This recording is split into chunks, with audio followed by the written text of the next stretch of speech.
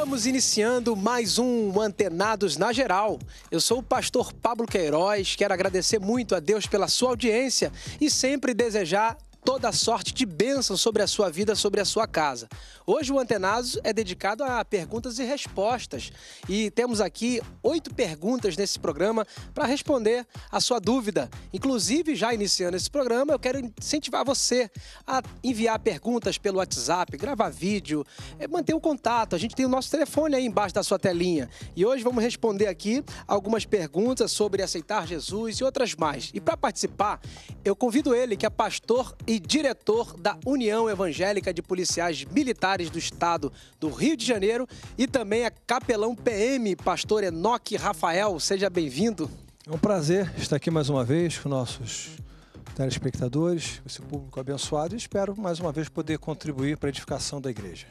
Ele também, que é pastor bacharel em teologia pela Faculdade Metodista e pastor na Igreja Presbiteriana no Rio da Prata, pastor Alexandre Vitaliano.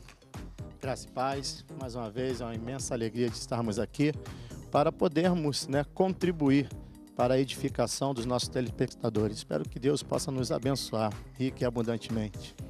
Ele também que é pastor do Ministério Ruja, é escritor, conferencista e também empresário, pastor Tiago Pitinini. Seja bem-vindo. Salve, salve, Pablo.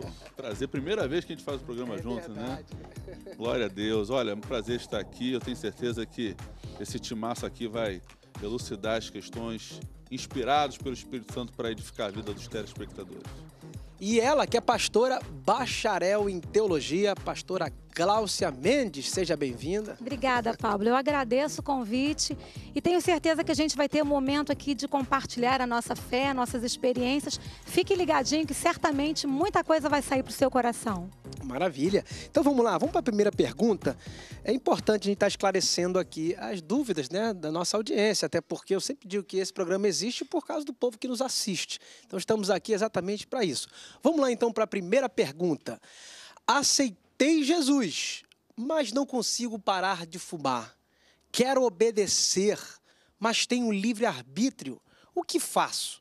Ainda não me converti de fato? Olha aí a dúvida do nosso irmão ou irmã. É uma culpa, né, que a pessoa está sofrendo. Agora vamos tentar tirar esse fardo desse nosso querido irmão que mandou essa pergunta. Começar pelo pastor Tiago. O que, que, que, que você diria aí para uma pessoa que está sofrendo com essa culpa, com essa aflição, Realmente, com esse vício? É, é, é, a gente vê muitas pessoas com esse tipo de dúvida e é uma pergunta muito pertinente, mas é, é uma irmã que respondeu? É, não, não, não, Olha, não disse querido, querida, seja você quem for, aceitar Jesus é uma coisa, libertação de uma dependência química é outra, é um processo. Fique em paz. O que importa é que você é, tem consciência do teu erro, do teu pecado, do teu vício, e eu tenho certeza absoluta que o Espírito Santo ele vai operar em você e vai ajudá-la a se libertar desse vício, dessa dependência. É, eu sempre digo que o processo da, da, da conversão é um, um, processo de parto, né? A justificação é instantânea, você creu, está salvo. E a santificação que é o processo.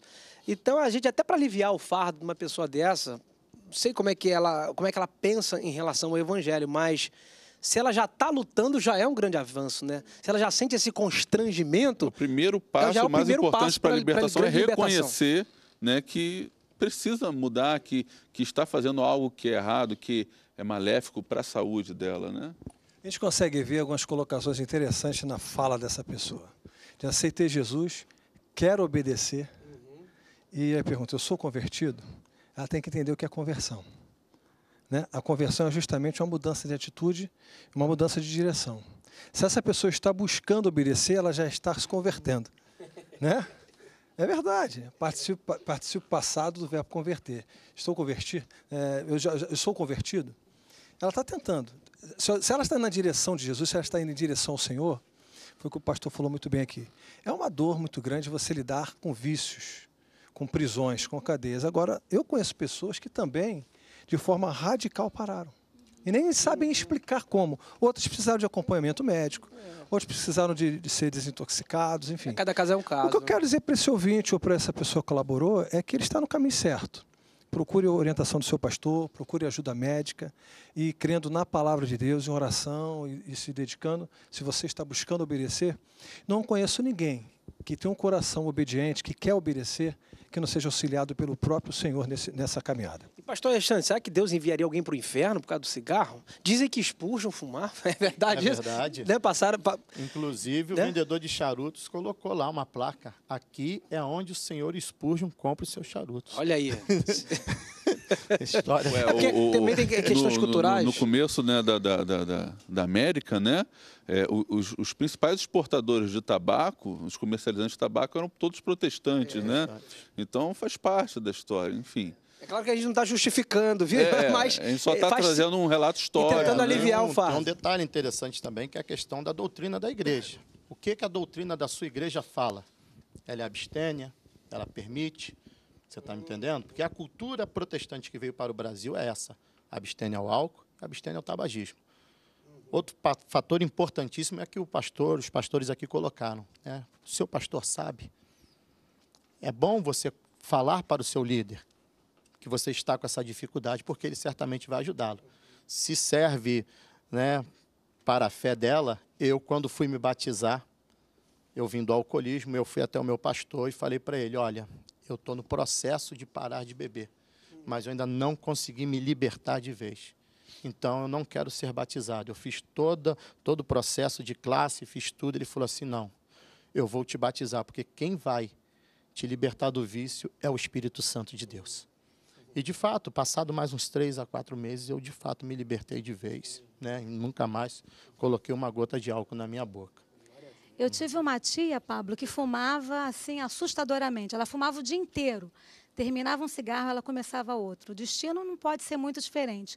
Morreu de câncer de pulmão. Eu tive um pai que fumou por mais de 40 anos. E quando ele se converteu, ele abandonou o cigarro. Então, assim, cada pessoa vai lidar com isso de uma maneira.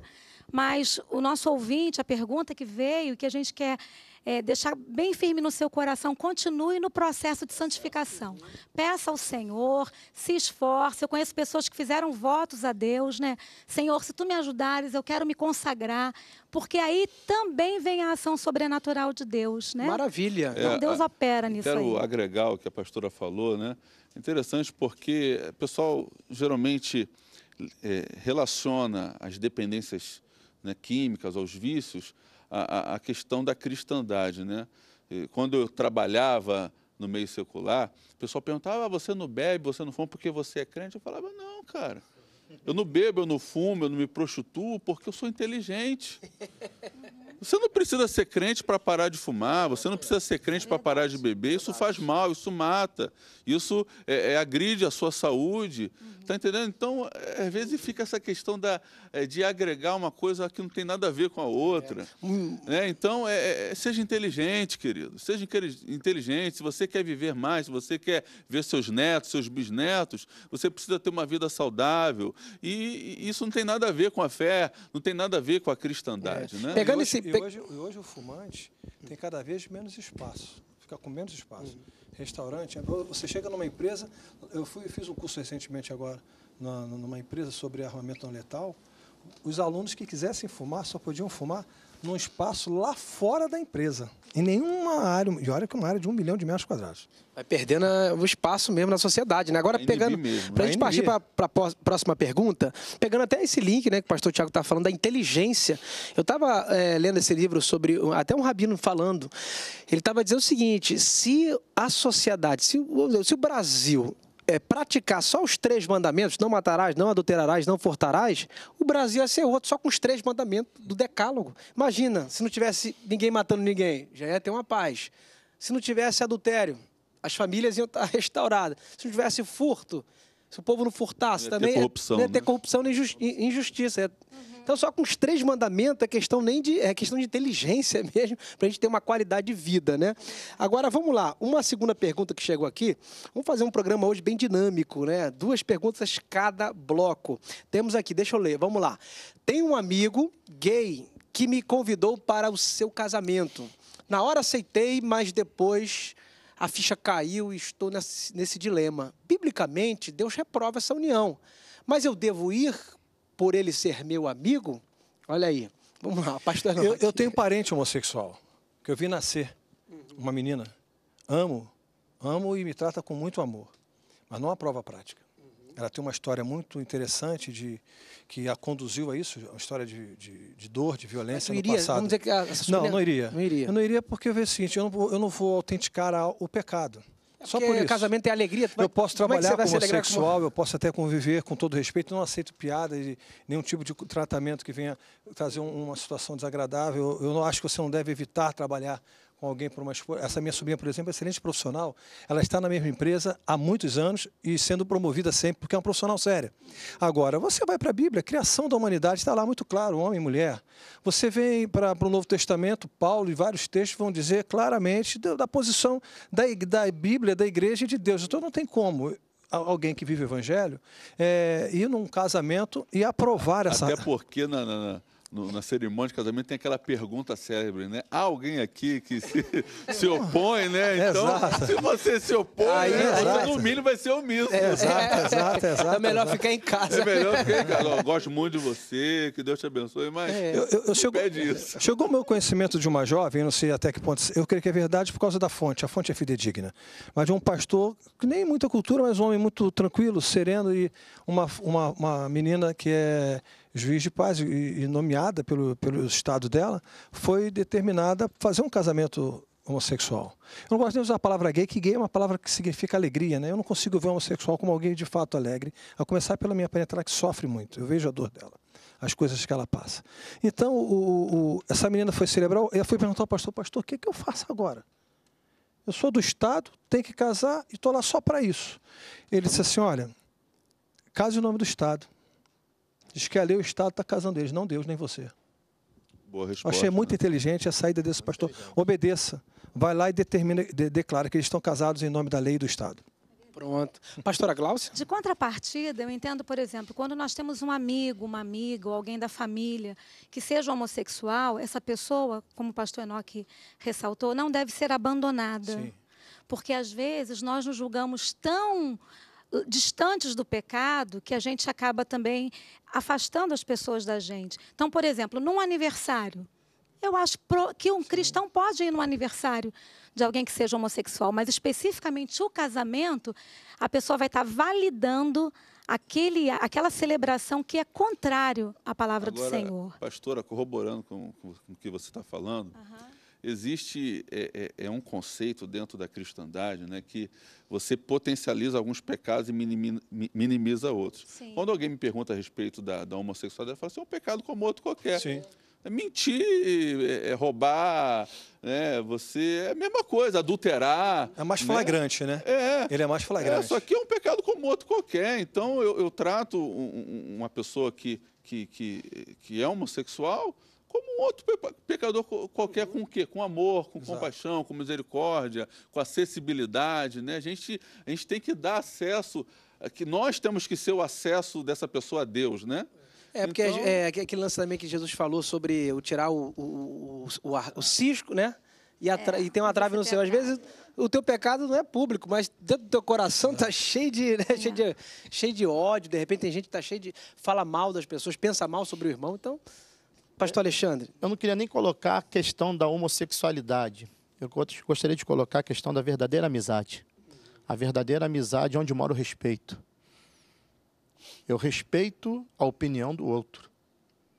Tá entendendo? Então, se verdadeiramente ainda que eu não concorde, mas o am- respeite. Exatamente. O amigo vai, olha, eu, né, devido à minha fé, devido àquilo que eu creio, eu não vou ao seu casamento, mas vou continuar sendo seu amigo. Nós, nós evangélicos ainda somos Exatamente. muito imaturos. Eu estou generalizando, é claro, nessa relação, né, nisso que o pastor acabou de falar.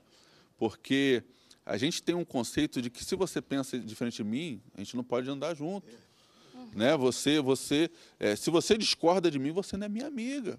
Né? Muitos pastores, ditadores, e- eles têm essa, essa filosofia. Né? Se o camarada ele reclama, ele já chama de rebelde. Se o camarada, eh, se o membro vai falar alguma coisa, pastor, Já leva pro né, pessoal. não, é, já leva para o pessoal, você é rebelde, você é desobediente, você está em maldição. Não, querido. Somos seres distintos, né, com, com, com criações distintas, com culturas distintas, né, com formações de pensamento distintos, e a gente tem que entender isso, e sem contar a questão da multiforme, graças É, a Deus. né? interessante, vou até para o intervalo agora já, mas o que o pastor Tiago está falando, é, olha, olhando para o casamento, eu nem sempre eu concordo com tudo que minha esposa diz, mas não é por isso que eu vou me afastar dela, né?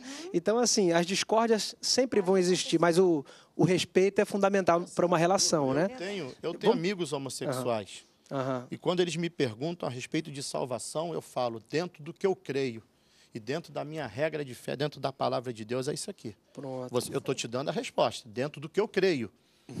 certo? Agora, isso não vai interferir na É. nossa amizade. Nós vamos continuar amigos, né? estudamos juntos, eles cresceram, moram juntos, mas são meus amigos. Pronto. E de repente você Frequento pode a ter oportunidade para frequento alcançar. a né? casa Vamos deles. vamos pro intervalo. Você que está aí, o Antenados volta já já.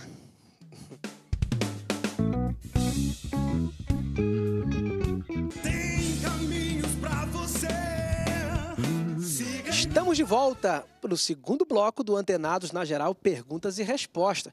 Antes de passar para a primeira pergunta do segundo bloco, eu vou deixar aqui o pastor Tiago terminar, que ele queria fazer uma conclusão no primeiro bloco, só que aí acabou o intervalo, não podemos Isso, concluir. isso, isso. Eu queria completar nosso raciocínio né, sobre a diversidade de pensamento, sobre sermos seres distintos. Eu, eu, eu- eu acho que a diversidade, as diferenças são mais salutares né, do que maléficas, porque imagine que aqui tem um objeto. Eu estou olhando do meu ângulo e tô- não estou vendo a totalidade desse objeto. Né? Pastor Enoque está vendo de outro ângulo, você está vendo de um outro, né? E os demais pastores estão vendo. Se nós juntarmos essas cinco eh, perspectivas, nós vamos conseguir ter uma visão total desse objeto. Porque eu vendo aqui, eu só vejo um pedaço dele, só consigo descrever talvez 30% desse objeto. Então, eu acho que a gente precisa acreditar mais nessa diversidade, porque a gente vai ter um entendimento muito mais abrangente né, eh, do que, que é ser humano, do que, que é, eh, eh, a cristandade e por aí vai. Eu acho Muito bem colocado, pastor. Bacana demais. Vamos lá então para essa segunda. Diz assim: qual o verdadeiro significado do sábado? Algumas igrejas o preservam, como na cultura judaica. Está certo ou errado? Vamos começar aqui por essa. Essa pergunta até comum né, nos nossos dias. É, inclusive, a gente tem muitas igrejas hoje que, que guardam o sábado, né? E diz a Bíblia que é o quarto mandamento né, do Decálogo, se não me engano, é o quarto mandamento. E não foi é, o homem feito para o sábado que Jesus diz, né? Mas o sábado feito para o homem no sentido de que é para o descanso mesmo do homem. Não é nem questão, acho que, de, de salvação, mas questão mesmo de, de qualidade de vida. Né? Mas, às vezes, tem pessoas que entram numa doutrina ensinando de que tem que guardar, porque se não guardar, aí o cara se sente culpado. O que, que vocês acham? Como é que a gente pode responder esse nosso ouvinte aqui em relação a essa dúvida do sábado? O que, que é o sábado, pastor Com todo respeito às igrejas que priorizam guardar o sábado, eu acho que eles fazem um equívoco muito grande com relação O significado, É, né? as leis. É. Só começa, já começar pelo decálogo e as leis morais e as leis. é, é, é, é, dividem entre leis de Moisés e leis, e leis de Deus. Jesus, quando vai falar em alguns textos, ele deixa bem claro. Ah, vocês não guardaram a lei de Moisés. É a mesma frase, ele entende, ele deixa bem claro que era a lei de Deus. Moisés foi um porta-voz. Um outro, outro aspecto é o seguinte: eu não sou nada contra quem quer guardar o sábado. Agora, esse sábado vai substituir, ou ele é qualidade sine qua non para a eficácia do sacrifício de Cristo? Porque o sábado, na verdade, era um descanso que apontava desde a criação do homem lá. E ele apontava para a vinda de Jesus. Uma tipologia. Jesus né? descansa no sábado. Agora a igreja, ela, ela agora aponta para a volta de Jesus. Só que Jesus não, não vem no sábado. A Bíblia diz que Jesus virá num dia que ninguém sabe. Então, se você guarda só o sábado, querido, é um risco. É bom que você se consagre todos os dias. essa é, é É, porque verdade. Jesus não. A Bíblia não diz que Jesus vem no sábado. Agora, se você guarda o sábado como um dia especial, como hoje, até porque o nosso calendário mudou. Teve uma série de- né? É, exato, não dá para você firmar aí. Então, não vou nem entrar nessa questão que é muito, vai muito estender. Eu quero ver os demais irmãos, é, debatedores. Mas eu, eu penso o seguinte: se você for partir por esse caminho, você complica mais ainda. Se você guarda o sábado como um dia especial que você se debruça mais sobre a sua caminhada com Cristo, que eu digo que você pode, e a sua igreja assim te orienta, mas eu, quando ela parte para uma qualidade sine qua non, para para completar a salvação, eu acho complicado. É, e o, o sábado ele foi, como o pastor Enoque falou, uma, uma espécie de tipologia, né? Apontando para um descanso que viria. Sim. Então é uma espécie de, de- de preparação. Como Jesus veio, o descanso chegou. então agora a- a- o domingo passou para ser domingo, né, Tiago? O domingo já é mais comemorado pela ressurreição, né? É, o, Ali na igreja o primitiva. sábado ele é um princípio espiritual, não o dia da semana. Mas é, isso quer dizer o quê? Que precisamos ter um dia de descanso, um dia para dedicar à família, um dia para se dedicar a buscar a Deus, né? A- a- é porque a gente trabalha, né? E, e- e hoje no- na sociedade ocidental, né? é, principalmente aqui no Brasil, que nós não temos a cultura, é muito difícil uma pessoa aderir a uma prática dessa, porque se ela for trabalhar numa empresa onde ela tem que trabalhar sábado até as 12 horas, até as 14 horas, ela está lascada, ela não vai conseguir emprego. Então, eu acho que o que vale do sábado é o princípio de você ter um dia para descansar, um dia para dedicar família, um dia para buscar a Deus, um dia para você é, é, não trabalhar, né? Eu acho que é, é- é um- é uma prática muito mais salutar se a gente for levar o sábado. Existem inúmeras eh, questões teológicas que a gente levaria dias discutindo, vários aspectos, mas eu acho que eu corroboro eh, com o que o pastor falou, acho que a gente tem que ter bom senso. E também, Pablo, os irmãos estavam aqui falando, eu estou pensando, né? O sábado ele está muito mais restrito à antiga aliança, que é o Antigo Testamento, né? Jesus não veio destruir o Antigo Testamento, mas ele veio ressignificar muitas coisas do Antigo Testamento. E o sábado era guardado. E ele começa a dizer: olha, gente, o sábado não é mais importante do que as pessoas. Quando ele faz uma cura num dia de sábado, ele diz: olha, se tivesse um jumento de vocês que tivesse caído num buraco, vocês não iam salvar o jumento de A vocês? vida é mais importante. Então, como é que vocês estão reclamando de eu curar no sábado, né? E quando Jesus ressuscita no dia de domingo, a tradição da igreja, então, a igreja cristã, a igreja primitiva, entende que naquele momento, o dia que está sendo coroado para ser celebrado é o domingo. Por isso a igreja cristã guarda o domingo, Interessante que a né? pastora Cláudia falou sobre a, a- o- a prática da igreja primitiva, né? Que muitos dizem que foi Constantino que determinou o domingo do Senhor, mas é, começou an- muito antes de Na verdade, foi oficializado com Constantino. Mas a comunidade primitiva, Já ela, prati- já. ela, ela continuava com todas as observâncias da lei, Sim. mas né, começou principalmente a ceia. né, eles se reuniam nas casas nos Partiam o dias de pão. domingo, dia de domingo, porque foi o dia da ressurreição do Senhor. Agora, o sábado, e as pessoas, quando para defender o sábado, né? Eu tenho vários amigos adventistas, e eles, às vezes, ah, estou errado. Eu falei, amigo, você gosta de. Se tudo é Bíblia, né? Então, tá lá, a Bíblia está mandando você guardar o sábado, guarde o sábado. Só que tem um detalhe interessante. Se você pegar a, a, a, a, caminhada bíblica, tem lá a instituição, Gênesis 2, 2, né? Aí depois, você, os patriarcas não observam o sábado. Você vê nos patriarcas a observação do sábado? Não vê. Você começa a ver a partir do pacto mosaico. E aí depois, esse sábado é agregado às festas né? Depois, né, o sábado passa a ficar um pouco banalizado. Tanto é que se você pegar o primeiro capítulo do livro de Isaías, né, eu não sei qual é o versículo, não sei se é 12, 13, ele fala, né, é, já está se tornando as suas festas, os seus sábados, está se tornando abominação para mim. Porque já não tinha mais aquele sentido. Era uma prática ritualística, religiosa. Ritualista, é? Tanto que eles tinham um método para burlar o sábado. Exatamente. Davam quadras menores e ali paravam e continuavam. Eu- eu- Aí eu- depois, só para concluir, depois vem um radicalismo na época dos macabeus. Os macabeus cumpriam essa questão do sábado de uma maneira tão rigorosa, porque se eles fossem atacados em dia de sábado, eles não empunhavam, não levantavam suas espadas, eles preferiam morrer do que lutar no dia de sábado. Olha aí, Em essa aí é- Cristo, a questão começa a ser um pouco, né, a lei, o jugo começa a ser pesado demais, que entra nessa questão. O agricultor ele tinha que lavrar a terra dia de sábado porque ele passava uma tremenda dificuldade. O pastor, todos esses. Então Jesus fala, né? é, O gado a- que caía no, no, no. Exatamente. Então não vai salvar porque é dia de sábado. Então lá em Reclamaram porque Jesus estava curando no sábado, né? Nessa crise, vamos trazer para o nosso dia, nessa crise de desemprego. Aí arruma um emprego só. Exatamente. O camarada vem pedir uma ajuda para eu indicar para um, um emprego. Falei assim, ó, rapaz, tem trabalho. Ei, mas não trabalha sábado não, né? Eu falei assim, por quê? Religião? Não trabalha sábado, não tá com nada. Não, um detalhe. E aí, quer dizer, Cristo ele já começa, Cristo faz essa colocação. O homem foi feito para, acho que é Marcos 2:27.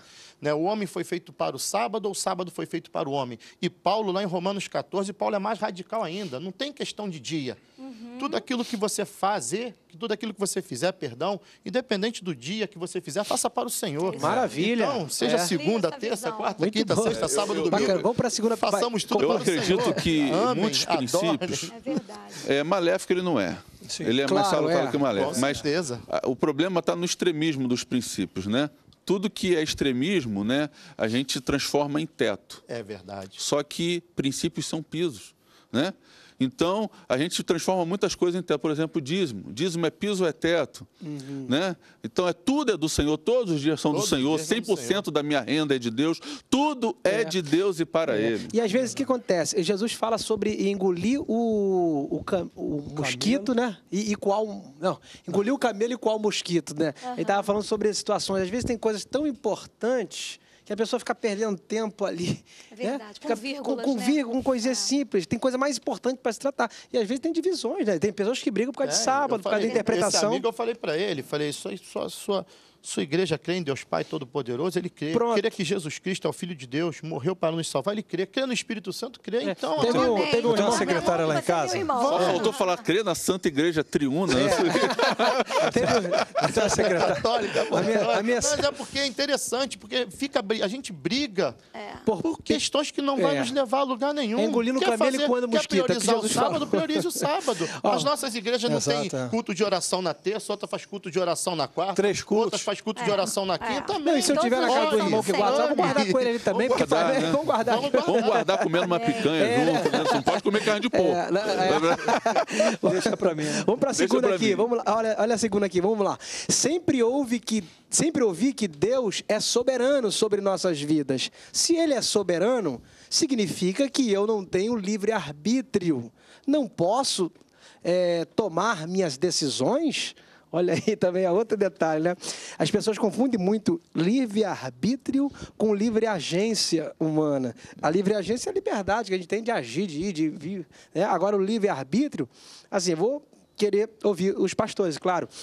Mas assim, não sei se vocês vão concordar comigo. Mas o livre-arbítrio, ele, ele tá com um vírus. O nosso livre-arbítrio, ele não, ele não tá igual o de Adão e Eva antes da queda. Ele tem um, tem um vírus do pecado que mexe, que, que não me deixa tão livre assim, né? Que dentro de mim age me impulsionando para esse mal que é o pecado que habita em mim. Agora eu queria ouvir dos, dos senhores. Vocês acham que essa livre agência Olha- e esse livre arbítrio é a mesma coisa ou tem algo Esse diferente? livre-arbítrio vem desde, o- desde Gênesis. Quando o Senhor chega para Adão e Eva, ele já deixa bem claro, ó, daqui vocês não vão tocar, se tocar, morre. Mas não disse que eles não conseguiriam tocar. Entendeu? Eles conseguem comer do que, não, que foi orientado a não comer, mas deixa bem claro, ó, se correr, Deus, ele deu uma sentença, ó, se comer, não, vocês vão comer de tudo, menos dessa árvore aqui. Senão vocês vão morrer. Ele não poderia ter impedido, colocado um chip que impedisse de tocar? Ou então um crédito, um crédito, como é que é? Controlado, que tem no celular, né? Crédito controlado? Bom, daqui vocês não conseguem. Não! Isso é o livre-arbítrio.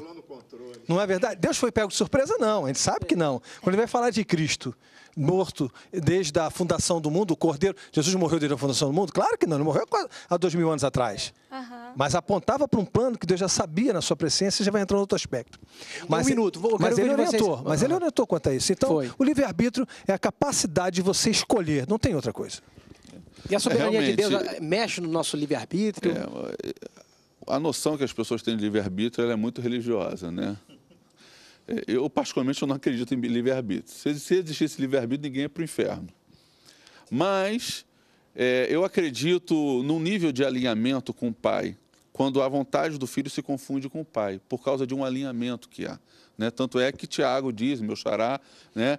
É, vocês, é, per- perdão, Jesus ele diz, vocês pedem e não recebem porque pedem para os vossos próprios deleites. Tiago também fala alguma coisa relacionada a isso, né? que a gente tem que estar alinhado com o Pai.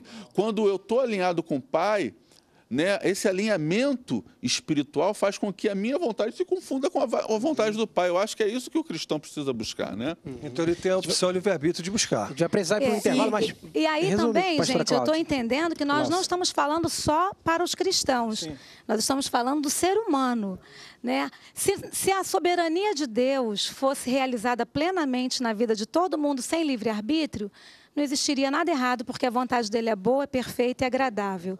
Os atropelos que a gente tem é exatamente porque nós fazemos escolhas, muitas vezes distantes da vontade de Deus. É, a livre agência, a liberdade, muito boa. E você que está aí, do outro lado da telinha, das boas novas, não saia porque Antenados volta já já. é contigo.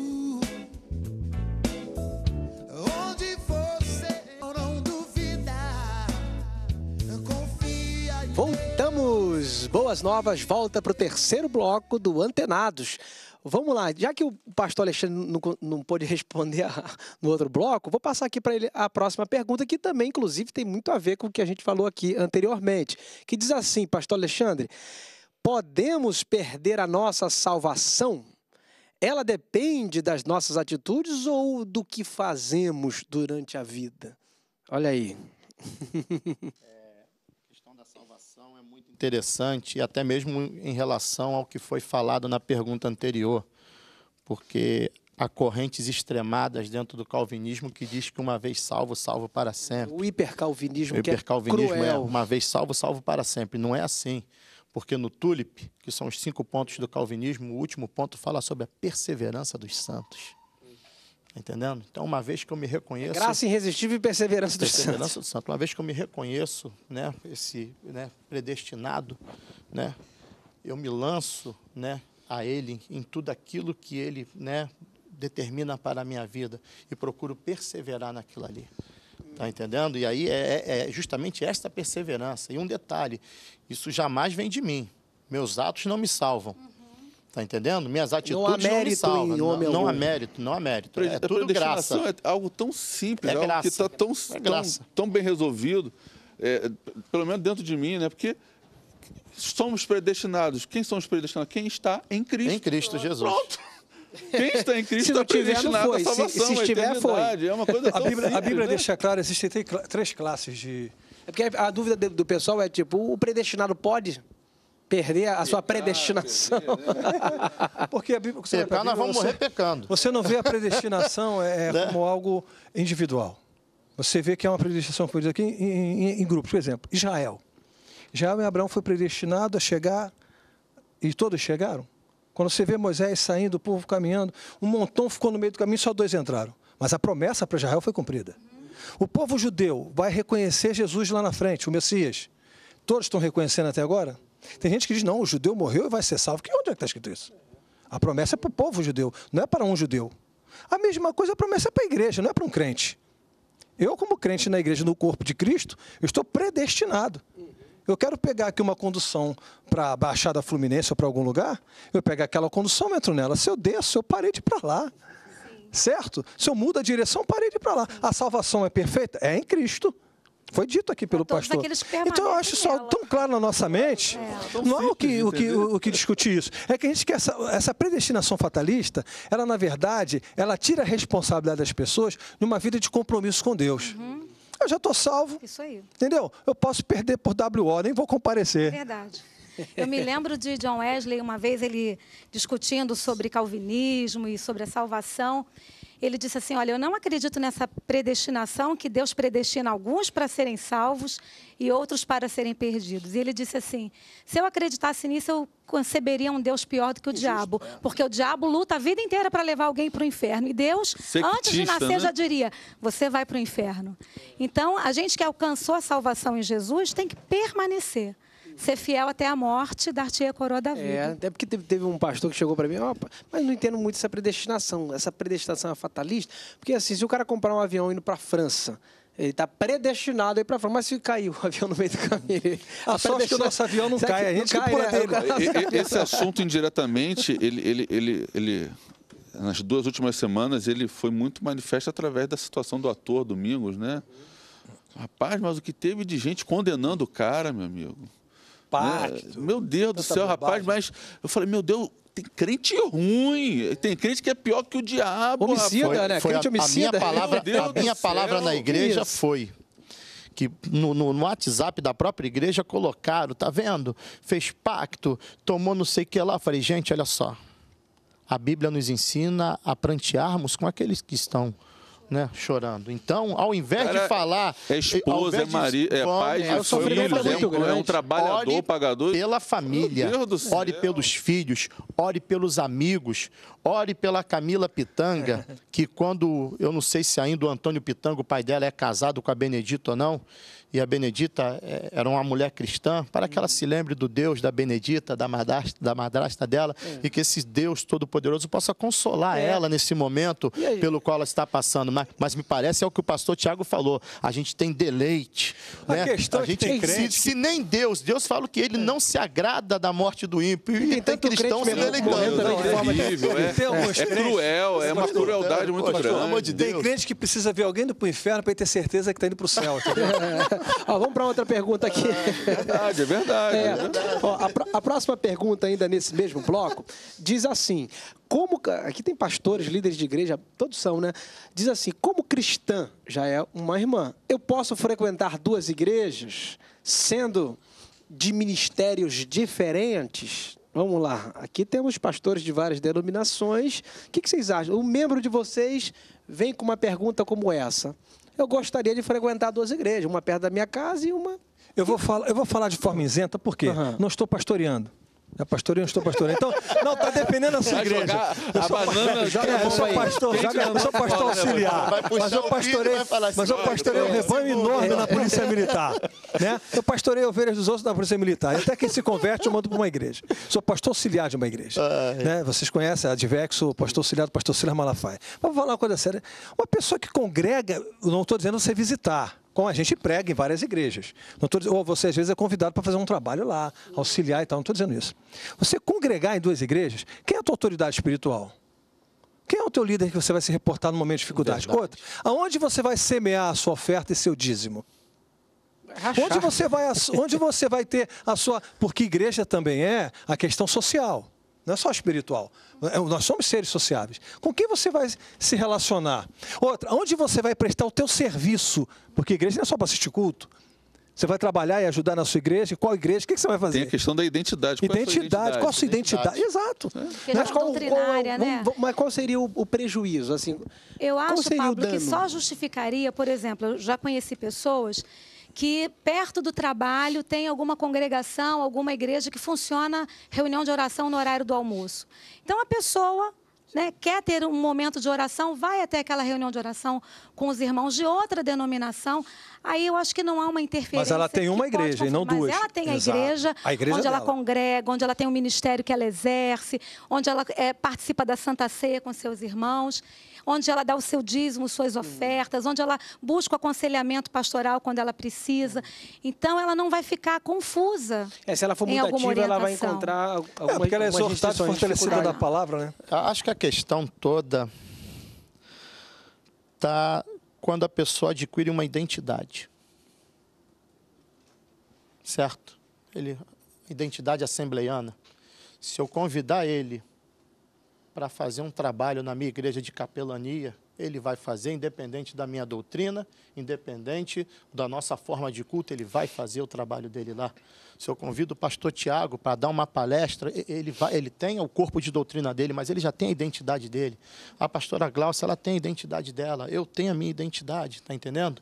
Então, se você tem uma identidade, Está me entendendo? E aí, dependendo muito do contexto social, ou da necessidade, como foi dito aqui, da necessidade. Agora, fazer o quê? Por quê? Porque gosta muito da- daqui, gosta muito dali? Não, você tem que definir. E- e- E, e- assim, um detalhe, só não, não cortando o pastor Tiago, dentro das nossas denominações, já há diferenças. No meio da liderança, cada um tem, de, pensa de uma forma. Imagine Não, e- você e- indo para outra igreja, outra, sabe? É, é E- complicado. E, isso é interessante porque as pessoas acham que o fato de existirem denominações, linhas teológicas diferentes, essa é a raiz de existir é, é, desunião na igreja. Muito pelo contrário. Isso sempre existiu e sempre vai existir. Até entre os judeus haviam os fariseus, saduceus, helênicos, essênicos. correntes Jesus hoje. era um rabino fariseu. Tá entendendo? Todo judeu tinha que fazer parte de uma das facções. Né? Você vê Jesus falando mal de alguma outra denominação, de alguma outra facção? Não. Jesus só fala dos fariseus, porque estava lavando roupa suja dentro de casa. Então, enfim, é- é- é- é- a denominação ela te dá uma identidade. Mas isso não me impede de interagir, de me relacionar enquanto reino, enquanto igreja, com o irmão presbiteriano, com o irmão da Assembleia, com o irmão metodista. Né? O reino é um. Né? Mas existem várias maneiras de assimilar o rei. É, de repente, essa, essa coisa da flexibilidade do irmão pode também evitar Também ele, tem- ele, e ele tem a criar questão, raízes, e tem né? a questão que o pastor É. falou. Aham. Onde você vai exercer o seu ministério? Pronto, é isso. É onde você vai raízes. exercer o seu dom? Identidade Agora todo a gente mundo também tem que ter. orientar, porque também tem pastor que erradamente, às vezes, colo- coloca cerco, né? Aí o cara Ah. fica meio que. Aí fica, já não vai, não é nem porque ele não quer ir, mas já fica com medo. Não, se meu pastor me vê ali naquela igreja. Tem gente que já cria é o- terrorismo teológico. Mas acho que em orientar sauda- saudavelmente, irmão, você não gostaria de crescer na igreja, criar raízes. Então valoriza a casa onde você come Se o pão. irmão tiver dificuldade, quem vai disciplinar orientar ele? Não, e um e, detalhe. tem- tem- e até cada pessoa vai se identificar com o líder perfil dele. de Quem vai igreja. tratar dele se Porque tiver um tem- problema, né? É, Não, o pastor tem- estava até comentando, né? Tem gente que gosta da igreja que bate palma, então vai para aquela. pra tem, aquela. tem igreja que, que é uma igreja mais calminha, mais silenciosa. Então você se identifica e assume É, aquela identidade. Porque senão ele fica um cristão self-service, ele vai onde É, convém. é Aí segunda é. Batista, terça universal, quarta É. congregacional, quinta... Tem uma música que fala tem uma que canta música- Essa é uma questão, a questão da pessoa que congrega perto do trabalho. E a Como nós questão temos gente que congrega lá no quartel. E a questão do Isso. próprio líder Nos também. cultos. O líder tem que, ter, tem que ter bom senso de orientar ela a falar que isso não é bom para ela. Não é benéfico para ela. Nós estávamos comentando ali Pra que certa vez da- eu fiz um trabalho social dentro de uma comunidade com um padre. E o trabalho começou a crescer. E quando eu vi que começou dentro daquele grupo a criar tendências, eu gosto mais do Tiago, eu gosto. eu- eu- ó, tá, eu vim aqui para te auxiliar, né? Arrebanha isso aqui. Leva para Caso de- leva para Não sua é Paulo igreja. plantou, Leva Apolo pra sua regou, mas quem deu É, crescimento não- é Deus, porque né? eu- mas tem gente que por vaidade, não, fica aqui comigo. Eu nunca alimentei a abordagem de amigos ou membros de igreja que vinham se aproximando quando você percebia que, na verdade, existia uma diferença, uma insatisfação com o pastor, aí tenta te abraçar como líder dele. Com Eu certeza. nunca permiti isso em lugar nenhum que eu, que eu auxiliei. Vamos lá, então vamos para o intervalo. Tá bacana aqui, papo bem corrido, né? Bem dinâmico. E você que está aí, não saia, porque o Antenados voltará para o último bloco. Voltamos já já. Então o sol sorriu pra mim. Voltamos então para o quarto e último bloco do Antenados na geral perguntas e respostas. Não posso deixar de agradecer sempre, sempre a sua audiência é muito bem-vinda a Boas Novas. Inclusive, mais uma vez incentivo você a enviar perguntas, a enviar dúvidas e temas e a ser um doador também, um semeador para que esse programa continue perpetuar até a volta de Cristo. Vamos lá então para uma última pergunta do nosso bloco. Perdão, tem mais duas. Essa é o seguinte: tem um irmãozinho que está com dúvida. Ele é, é correto o cristão vender imagens ou joias e objetos que contenham imagens de santos? Não seria um sincretismo religioso? A dúvida do nosso querido irmão. Ele tem dúvida se ele pode vender imagens religiosas, né?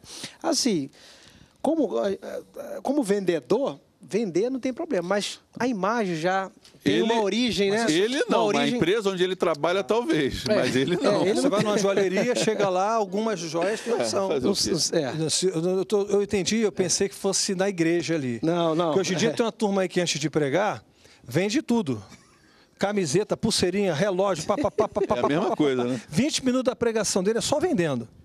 Nada contra, não tô contra. Eu- Eu acho que toma um tempo, né? Agora eu pensei que ele ia vender também o Santinho na igreja, essa não, né? Aí não, aí não. Não, eu pensei que fosse um A imagem. vendedor autônomo que trabalha com, com algum tipo de material e que queria também inserir dentro do, do- daquilo que ele promove esse tipo de artigo. É, vender uma imagem do São Jorge, por Né, exemplo. Então- Tudo bem que São Jorge foi um homem de Deus, né? É, Assim, a gente sabe a mas, história dele que foi um homem de é. Deus, mas Mas o assim, ele não significado virou. hoje é- Hoje o Não significado nos é outro. cabe, assim como cristãos, até porque quando a gente compreende essa questão do ídolo, da idolatria, que Uhum. isso é abominável ao Senhor, então mesmo que você não professe aquela fé, não tem aquele ídolo, aquele santo, né, como o seu, o seu santo de devoção, talvez você até já tenha tido, mas se você entende que aquilo ali não é de Deus, não é, não é agradável ao Senhor, você não pode reproduzir isso para outra É. E, pessoa. assim, no meu caso, eu, eu não considero como nada. Imagem, para mim, e nada é a mesma coisa. Então, se eu vender para algum irmão, para mim não vai afetar minha comunhão com Deus, mas pode afetar dos, dos mais fracos. E ao pastor Pablo vendendo a imagem do São E Jorge. as indulgências Então, evangélicas é, pode- que tem hoje em dia? é, tem as indulgências. Também existe. Bem, E aí bem você tá colocado. reforçando Eu tô essa reforçando. prática E, e- e o, né? e o irmão que é fraco na fé, eu posso despertar o julgamento dele em relação à minha vida. Estou fazendo ele me julgar. né? Então, o Paulo fala sobre isso, né? É, se vem- é comer carne faz teu irmão pecar, não coma. Não é por você. Você tem maturidade para comer a carne, mas o teu irmão não tem. Então, ele vai julgar você. Você vai conduzir o- a, a tua liberdade, vai conduzir o irmão ao pecado pela tua liberdade. E quem está comprando, está comprando como como Bonito, algo valioso. como um, Também um é o outro amuleto, lado também, né? Como- exatamente. Eu- Já tem outro Um problema lá do outro fé. lado, do final é, da Quem está comprando do não tem essa visão que você está A tendo. pergunta também pode ser o seguinte, meu amigo. Eu posso trabalhar num bazar e trabalhar num bazar. Sou um cristão protestante, lá vende santinho, lá vende uma E série outras de coisas. coisas. É, mas foi, coisas. foi essa a primeira tô falando, colocação que eu coloquei. Ele é. não, mas a empresa A onde empresa, ele exatamente. Trabalha. aí não toca? É, Como é que ele faria? Esse aqui eu não posso vender, não. Não, Essa- não é desse jeito. Né? Também não Eu digo pro meu assim. chefe que eu não toco nisso, que eu não vendo isso. É, Aí vai é, não perder o emprego. intencionalmente, tudo bem, mas assim, involuntariamente, É, a- ah, a- eu quero isso aqui, aí eu vou lá e levo e pago. Eu, Mas eu, eu entendo a, a preocupação da pergunta dentro do seguinte ponto. Quem já tem uma maturidade procede da maneira que nós colocamos aqui. O problema é quem está de fora vendo. É. É, é, o, o- tipo de julgamento que vai emitir sobre a pessoa. Pô, o camarada é, é crente e está vendendo isso, está vendendo aquilo. É esse aí, o julgamento. Romanos essa- 14 e 15 vai tratar sobre isso, essa, é, essa é a grande questão, tá Eu entendendo? O tipo aqui, de julgamento que a pessoa emite. Eu me lembro que uma vez eu, recém-convertido, tinha passado. né, Na época não tinha Ambev, eu passei para ser vendedor da Brama. Sendo que a primeira coisa que eu fiz, eu fui até meu pastor, pastor Rogério. Rogerinho, Rogério da Silveira. E o Rogério virou para mim e falou, Xande, se você pertence a uma comunidade de fé, que somos nós, que abstém ao álcool, não fica bem você vender álcool para outras pessoas. É Então- lícito, mas não convém. Então vamos orar, eu, novo convertido, vamos orar ao Senhor para que Deus abra uma outra porta de emprego para você. é Mas esse daí não serve para Atitude ti. de fé. Né? Eu, na minha dúvida, eu fui até o meu líder e pedi a opinião dele. Sabiamente. É. "Ah, Me orienta, porque eu tô, tô, verde aqui na- no assunto. né? Ainda não tenho maturidade para, né? Então, senhor, por favor, me oriente. Boa. E a colocação que ele me fez, se um membro hoje fosse me fazer, recém-convertido, eu também daria, falaria para ele a, a mesma Uma resposta. orientação. Né? Bom, não tá convém. em paz. Agora uma outra aqui. Sempre tive dúvidas sobre predestinação. De novo, aí o povo tá com dúvida, tá com medo de, mor- de morrer e. Eu tive dúvidas sobre predestinação e livre-arbítrio. Afinal, somos predestinados ou podemos escolher a salvação? Mais uma vez caímos. Acho que a gente acabou antecipando a resposta, É. muito- não, que a outra pergunta era muito similar e puxou para a Então, predestinação. de repente, posso escolher, é, porque ele falou do- do- que é a graça de Deus que nos alcança, né? Mas, ao mesmo tempo, vamos falar aqui, então, da responsabilidade humana, que é muito difícil mesmo a gente julgar, né? A gente sempre fala isso. Dois mil anos se passaram, os teólogos se bateram, mas nunca se encontraram. Inclusive, até o próprio John Wesley e Whitfield se separaram por causa de questões teológicas, Mas né? continuaram amigos. É, eu lembro, de uma- é, exatamente, eu lembro É, de uma continuaram história... amigos. Hein? Quem, quem fez o enterro de Whitfield Foi. Né, foi John Wesley. Não, interessante que o povo gosta dessa confusão, Ah, né? é, É, quem fez foi... Discordar das ideias, mas amar povo as gosta de feijoada. Feijoada, né? De Engraçado, feijoada. tocando no Whitfield de John Wesley, teve uma interessante, porque foi. ah, os dois se separaram e também dividiu o povo. Aí um discípulo de Whitfield perguntou: vem cá, Whitfield, e agora que a gente separou, será que Wesley vai para o céu? Querendo botar fogo na lenha, né? Aí o Whitfield falou: não, tu vai encontrar o Wesley no, no céu? Ele falou: não vou encontrar, não. Aí ele já, já alegrou o coração, né? Mas por quê? Porque ele vai estar tão perto de Deus que eu não vou nem enxergar ele. Aí, é, porque a pessoa quer que o cara fale, ah, viu? A teologia dele é fraca, não vai não. A gente não tem que ter essa discussão, né? Então, é a graça de Deus e quem vai decidir é o eu, Senhor. Eu gosto Eu muito. sei que eu tô salvo. Eu, gosto, eu, eu, eu creio na predestinação, né? Eu, eu, e um detalhe interessante, quem era meu íntimo, né? Sabia que eu, dentro da metodista, sempre, a partir do momento que eu fiz teologia, que eu né, busquei né, conhecimento teológico, eu me passei a me identificar com o calvinismo. Mas nunca, nunca na minha vida preguei sobre predestinação dentro da igreja metodista, porque a igreja metodista é arminiana e a igreja é infinitamente maior do que a minha pessoa. Eu não sou nada diante da historicidade da igreja. Então, eu sempre me calei. Hoje não. Hoje eu estou num local ao qual eu posso de, tenho liberdade Eu, para eu falar digo que eu minhas sou ideias. calvarista, E- eu creio no Calvário. É, e eu- e- não, mas aí eu- aí- ninguém fica chateado comigo. Mas assim, o que eu queria colocar é o seguinte: Antônio Augusto Nicodemos, que é calvinista roxo, uma vez ele falou num debate, numa colocação, ele falou o seguinte: Arminianismo e calvinismo são os trilhos pelos quais caminha o cristianismo. Pronto, maravilha. É, Temos eu- dois minutos, queria ouvir uma pincelada dos três, eu, né? eu- Vamos eu lá, sou, eu sou contra esse evangelho do medo, né? Eu, eu- eu sou a favor do amor. Para mim, o fim da lei é o amor. Né? Então, é, eu não sirvo a Deus por medo de ir para o inferno. Eu sirvo a Deus por gratidão. Né? Se eu vou para o céu, para o inferno, compete a Ele. Eu quero, eu quero é honrá-lo, eu quero é servi-lo, eu quero servir o meu próximo. Eu quero é amar e ser amado. Ontem, domingo, eu preguei na igreja e falei Então, sobre isso. é- é- que a eu acho imagem que a de Deus gente, é- a é gente o amor. perde tempo com coisa que não, que não leva a lugar nenhum. O que, a gente, o que importa é amar, né? é servir, é honrar a Deus. É- eu, eu, eu estou aqui por gratidão, porque eu amo a Boas Novas, eu amo vocês, eu amo a Deus, eu quero servir ao meu irmão que está em casa nos escutando. Boa, um Eu minutinho, um minutinho já eu também já creio no amor, mas só que a Bíblia ela fala muito do inferno e alerta muito sobre o inferno. Quando você vai ver O alguns... amor de Deus também envia. A texto da Bíblia fala assim: ó, se o justo viver a vida toda da sua justiça, no final se desviar dela, ele se perde. Se o ímpio vier, vier e se converter, ele É. se salva. Então, há uma responsabilidade de um plano de salvação que já está pronto.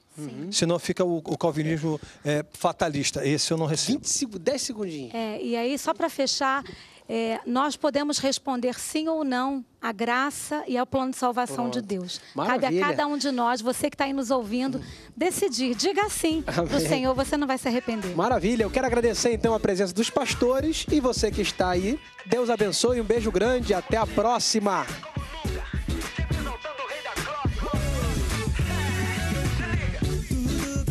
Vem dele, nós todos ele criou cântico novo para o seu louvor. Cientes dessa verdade, viemos o exaltar e receber as bênçãos que ele tem para nos dar.